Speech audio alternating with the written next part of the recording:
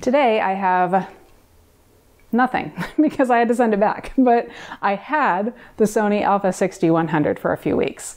I borrowed it from Sony along with a couple of their APS-C lenses because I wanted to try it out.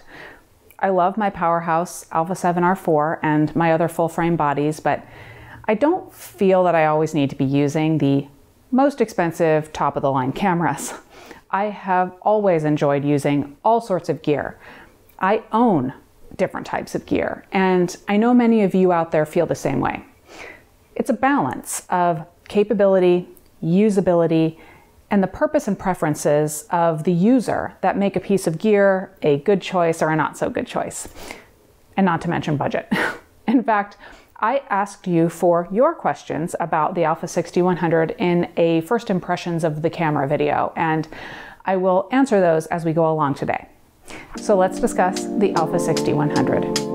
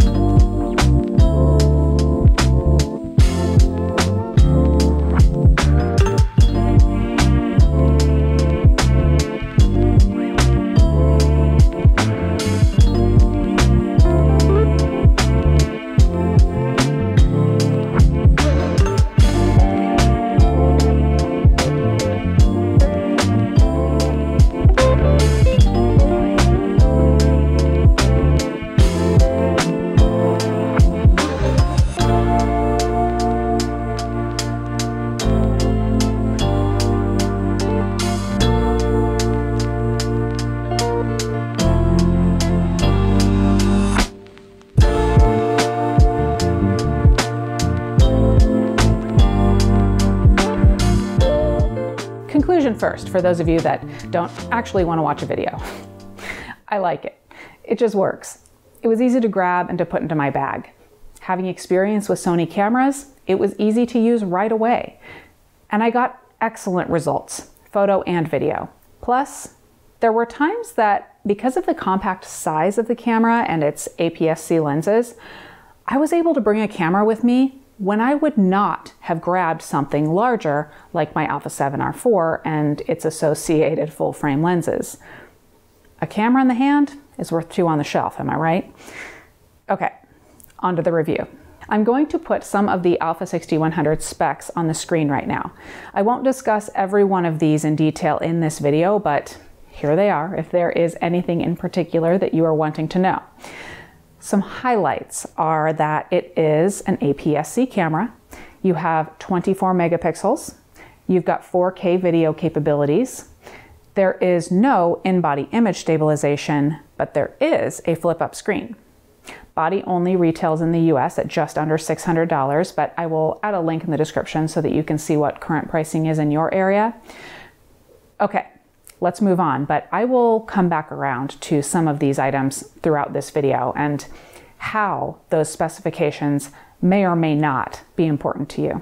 So I mentioned image quality and video quality in my conclusion a minute ago.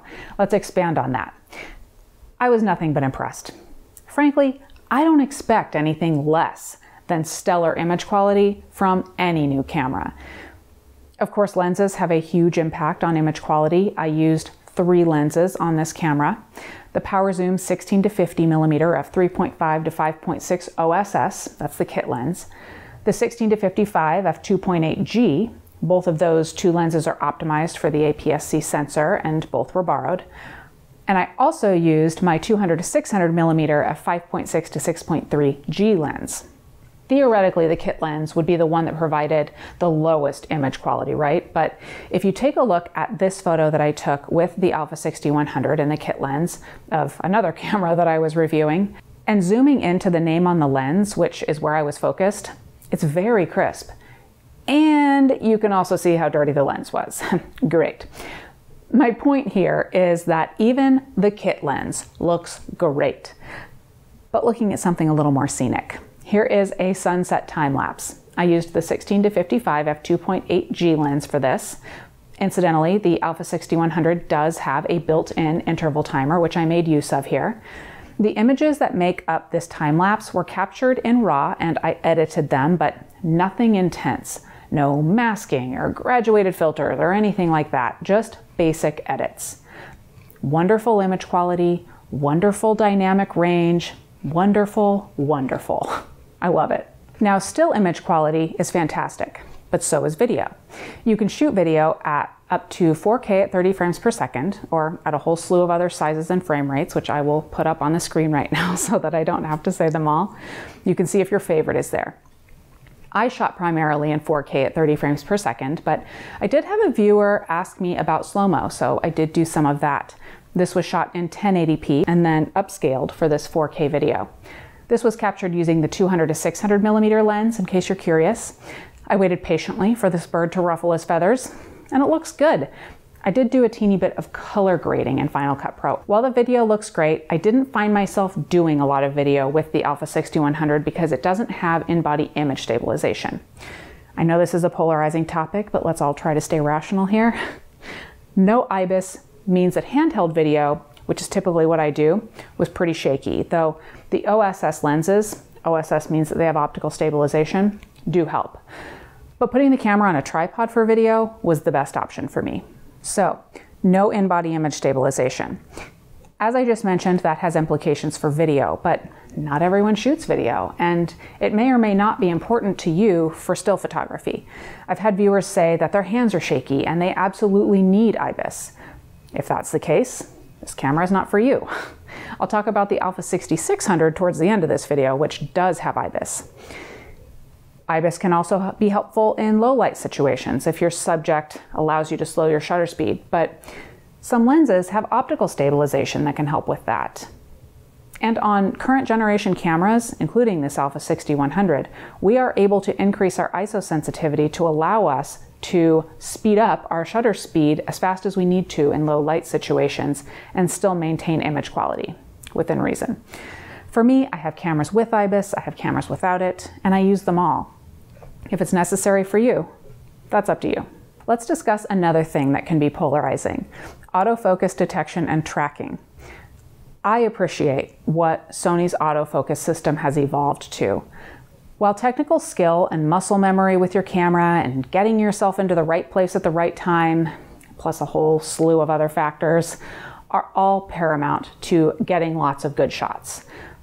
The dare I say, magical real time autofocus tracking on the Sony cameras these days, Alpha 6100 included, is really nice to have. It's quick and accurate. It definitely allows me to get more usable shots. And what I perhaps find even more handy is that I'm able to concentrate more on composition in situations like this one where I was photographing a bird in flight. I can trust that the camera has my back. And as long as I've done my job properly with settings and I can keep the subject in the frame, the camera will track the subject. Also, the Alpha 6100 has human and animal eye detect. Human eye detect works quite well. That is a foregone conclusion with a lot of cameras now. Being that my options for subjects are limited right now. I was only able to try the animal eye detect on bunnies and jackrabbits, which are not ideal candidates for animal eye detection. That being said, it worked as well as I have experienced with my Alpha 7R4. It was enough for me to be able to compare it to the autofocus detection testing I've done on the Alpha 7R4 and the RX100 Mark 7. This falls in line with those, which is to say that humans are detected really well, and animals like dogs and cats are also detected well. Other animals aren't guaranteed. In situations like birds in flight and pet photography, you may be trying to shoot quickly. The Alpha 6100 will shoot at up to 11 frames per second with autofocus and auto exposure. I photographed birds in flight. I had Raymond on his bike multiple times riding back and forth for me. The autofocus tracking kept up with the frame rate. I was particularly impressed in difficult lighting situations like this one, where Raymond was in and out of the shafts of light coming through the trees. Those sharp changes in exposure didn't fool the camera, it kept tracking. Let's jump into usability. This is where I actually received the most questions from you all. I think that the usability of the camera is just as important as the image quality and the smarts like autofocus tracking. Beginning with battery life. As the Alpha 6100 is a smaller camera, we can expect that battery life is not going to be as long as larger full frame bodies. This camera is rated at up to 420 shots per battery charge, but I did way better than that. Take a look at this time lapse, which in total had over a thousand raw images and didn't even come close to depleting the battery. When I limited the camera's stuff that it had to do for each shot, like here using manual focus and manual exposure, I didn't worry about battery life. Even when I was out for the day with the camera, I just made sure to bring a USB battery pack, which I almost always have with me anyway, because you can charge this camera via micro USB, even when you're actively using it. I did notice that the electronic viewfinder isn't quite up to par with other electronic viewfinders I've been using. So I looked it up and it is indeed lower resolution. It has 1.44 million dots. It didn't change how I shoot. It isn't even something that would prevent me from purchasing this camera. But if that is important to you, there's the information. LCD was a different story. It was great. The screen even flips up if you're into selfies. The one bummer is that if you are shooting a video with the microphone in the hot shoe, the hot shoe mic is in the way. I mean, I used it anyway. I couldn't see the entire screen, but I could at least see that I had my face in the yellow box indicating that I was in focus. On a related note, there is a mic jack. Now, because putting a mic in the hot shoe gets in the way of the flip up screen, Sony's website shows using a rig with the camera when you want the screen flipped up and a microphone attached. I think that's fine for a lot of people, but it's not ideal for a hybrid shooter like me. I've got my camera around my neck, I'm hiking, I'm shooting, the camera's back hanging around my neck. For me and for how I shoot, the rig kind of defeats the purpose of having the small camera. That being said, I've never shot with it on a rig, and I may enjoy it depending on what I was doing. Speaking of the size of the camera, I really like the size and form factor of this body. No hump on the top means that it was easier to fit into bags. Because I am often arranging and rearranging gear in my camera bags, that was something that I truly appreciated. Now this camera is made of uh, a heavy duty plastic rather than being metal, but I brought it all over, including on mountain bike rides, and I didn't think twice about it. This is also the typical customizable Sony body. The menus are extensive. Most of the buttons and dials, plus the My menu and the Function menu, can be changed to almost whatever you want them to be.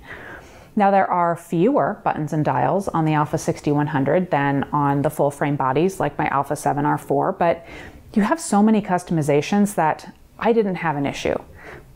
This all depends on how you like to shoot though. I had some folks asking about balancing a small camera body with a large lens. I took the Alpha 6100 out with the 200 to 600 millimeter lens often. I shot handheld every time. I sat around waiting for birds to look at me. It never caused me a moment's thought. I did also shoot the Supermoon handheld, but then I put the camera on a tripod to capture some video of it moving through the frame.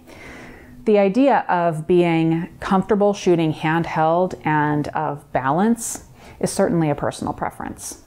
Now, this camera was introduced at the same time as Sony's flagship APS-C body, the Alpha 6600. I have not used it yet, so I can't draw any real life comparisons, but I can say with confidence that I would enjoy using that body just as much. The experience would have been much the same. It does have in-body image stabilization and a higher quality electronic viewfinder, a better battery life, but I don't think that one body is inherently better than the other. If you are in the market for an APS-C body, take a look at the specifications of both. Pick out the specs that you find important and see which one falls in line with your needs. And also, there's price. The Alpha 6600 is more than twice the price. Are those fancier specs of the Alpha 6600 worth the money to you? Okay, let's get back around to my conclusion. I took thousands of photos with the Alpha 6100 in the few weeks that I had it. Time lapses, individual still photos, video.